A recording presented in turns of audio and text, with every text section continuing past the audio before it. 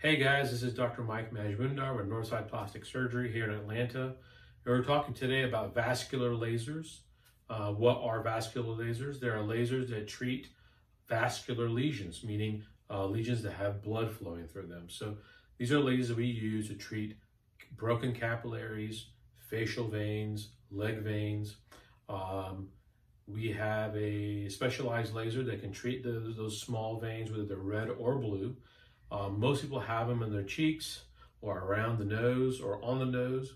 Some women have uh, blue veins around the uh, temples or around the eyes that also need to be treated.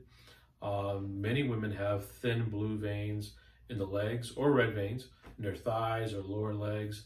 And these are all veins that are superficial, uh, not deep veins. Uh, superficial veins are very easily treated with laser treatments. Typically, they want to, you want them to be less than three millimeters in diameter.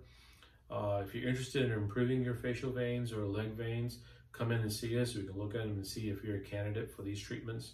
The treatments take uh, usually about 10 to 20 minutes to do, depending on where we're doing them, and uh, usually require anywhere from one to three treatments uh, for permanent reduction in those uh, uh, vessels.